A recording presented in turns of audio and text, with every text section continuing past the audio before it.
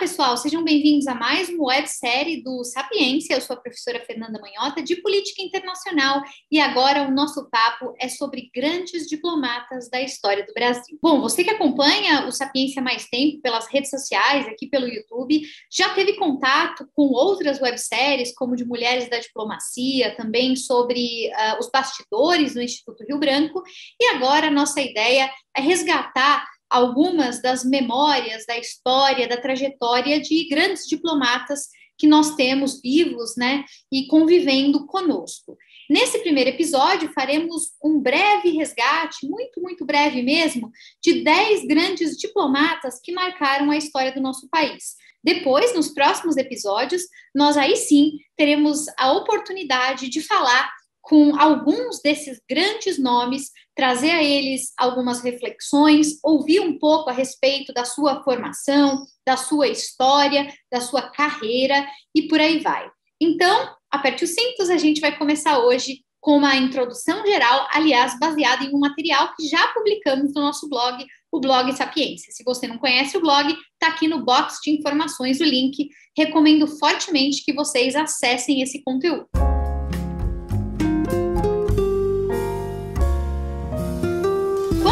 É estabelecer aqui uma lista de grandes diplomatas brasileiros, e aí pensando cronologicamente, não teria outro jeito senão começar pelo grande, né, famoso Alexandre de Gusmão, que viveu entre 1695 e 1753.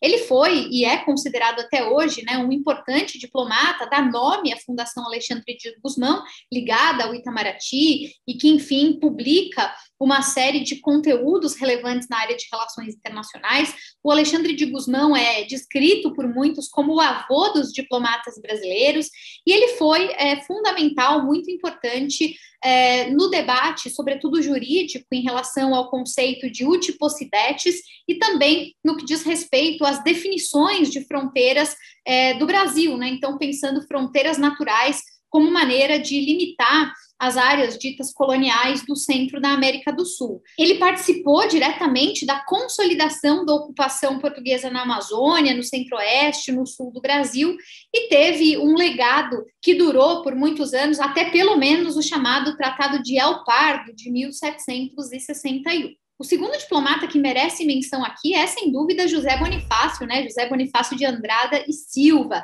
Ele viveu entre 1763 e 1838.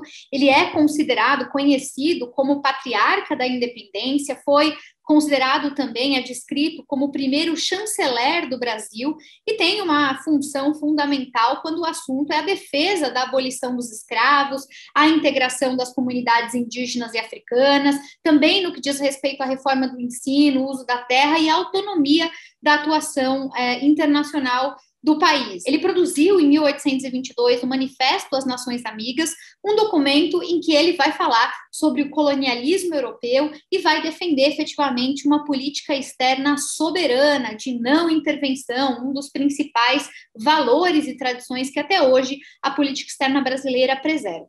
Na sequência, a gente pode falar sobre Duarte da Ponte Ribeiro, que viveu entre 1795 e 1878.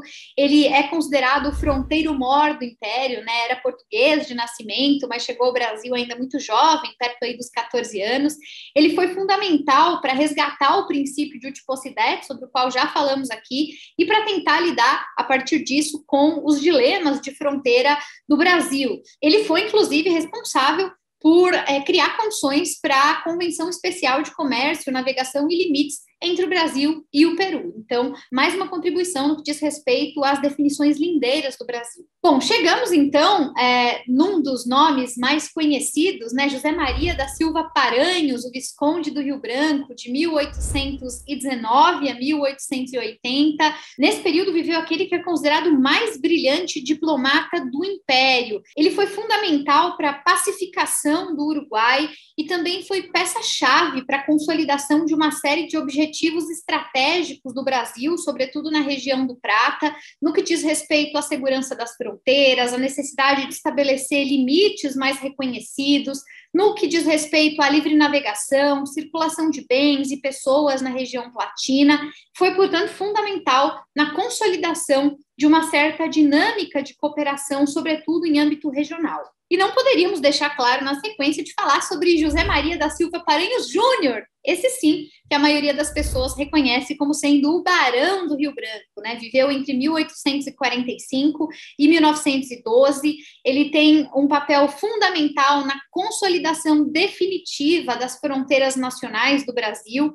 Ele é conhecido por ter é, resolvido diversos é, conflitos relacionados à questão é, dos limites territoriais do Brasil com amplo conhecimento de direito internacional, fazendo uso de cartografia e de alianças que permitiram ao Brasil, um país de dimensão continental, estabelecer as suas fronteiras sem necessariamente ter que recorrer à saída militar. Além dele, fundamental lembrar também Rui Barbosa de Oliveira, claro, que viveu entre 1849 e 1923 ele foi um liberal convicto, conhecido, defensor das liberdades individuais, do modelo federativo, de cidadania. Ele teve participação fundamental em decisões estratégicas do Brasil, como a entrada na Primeira Guerra Mundial e também durante a Conferência de Paz de Haia. É um dos legados mais importantes da sua história e que vai é, consolidar o princípio de igualdade jurídica, inclusive colocando o Brasil na mesma posição de outras nações mais uh, desenvolvidas daquele período, como era o caso das potências europeias. E aí temos também, claro, Oswaldo Euclides de Souza Aranha, que viveu entre 1894 e 1960. Ele foi uma figura fundamental no encerramento da Velha República, no estabelecimento e na criação de condições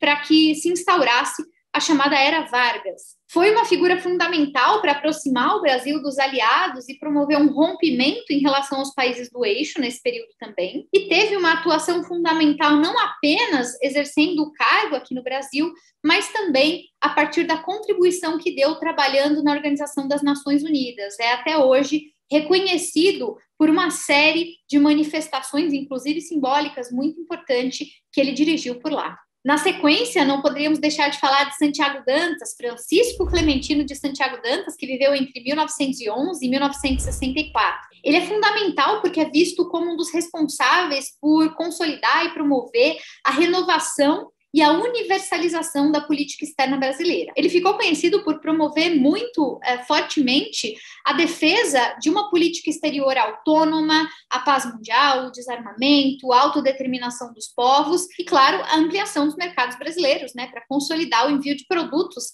nacionais para outros lugares do mundo. Na sequência, nós poderíamos destacar João Augusto de Araújo Castro, que viveu entre 1919 e 1975. Ele se tornou um dos expoentes da chamada política externa independente e sempre foi conhecido pelo pragmatismo. Ele ficou conhecido por defender a política dos três Ds: desarmamento, desenvolvimento e descolonização. E, claro, por fim, vamos destacar aqui Azeredo da Silveira, Antônio Francisco Azeredo da Silveira, que viveu de 1917 até 1990. A estratégia defendida por ele, que se tornou conhecida, amplamente estudada em relações internacionais, é claro, a doutrina do pragmatismo responsável e ecumênico. Havia preocupação embutida nessa ideia de deslocar o olhar da política externa brasileira, não de leste para oeste, como era usual da Guerra Fria, mas principalmente no sentido norte-sul. É também por meio da promoção das suas ideias que vai haver o reforço de valores como autodeterminação, direito ao desenvolvimento e o repúdio a qualquer tipo de colonialismo. Esses são nomes importantes para quem quer entender um pouco da história diplomática do Brasil, das tradições da nossa política externa e, claro, do lugar que o Brasil decidiu ocupar durante boa parte da sua história. Nessa websérie, a nossa intenção é resgatar essas memórias e trazer para a conversa diplomatas vivos ainda hoje e que também deixaram seu nome na história. Teremos aqui grandes figuras. E se você quer deixar alguma sugestão de nome ou quer deixar perguntas para os nossos entrevistados dos próximos episódios, aqui nos comentários, esse é o lugar ideal. Então, não deixe de se inscrever no canal, de ativar as notificações, de compartilhar esse vídeo e acompanhar a série nos próximos episódios. Se você, inclusive, ativar o sininho aqui embaixo com a opção todas, o YouTube vai te avisar quando os próximos episódios forem ao ar, chega lá no seu e-mail. Então é isso, não deixe de se inscrever no canal, siga o Sapiência em todas as redes sociais e nós aguardamos você no próximo episódio.